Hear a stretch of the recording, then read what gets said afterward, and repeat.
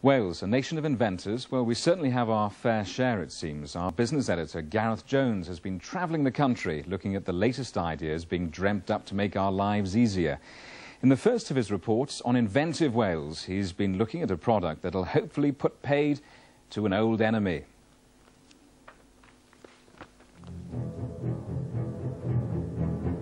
They're every gardener's nightmare. Slugs and snails can destroy your vegetable patch or perennials overnight. You've got to kill them. Snails, I stamp on. Slugs, I put in salt. Ugly, but effective.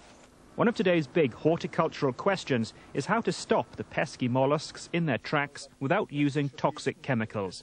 The BBC Gardener's World team, for example, have been trying various things, but a new Welsh product has come too late for their trials.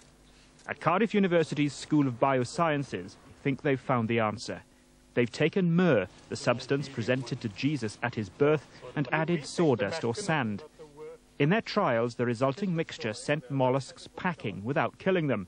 These two, for example, just don't want to know. The breakthrough comes partly because of Ahmed's Somali heritage. Being from Somalia, I was more aware of um, the resinous uh, plants from Somalia, such as frankincense and myrrh.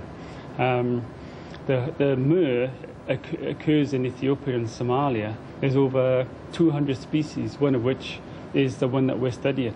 Along with gold and frankincense, myrrh was the original Christmas present. Thanks to Welsh expertise, it could now be making a comeback as the ultimate gift to gardeners. After 21 years of innovative research into mollusks and how to deal with them, it's another important success.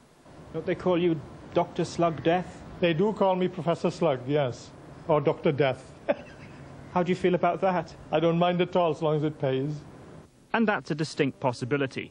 Swansea-based company Compton Group are backing the product with their money and plan to launch it this autumn.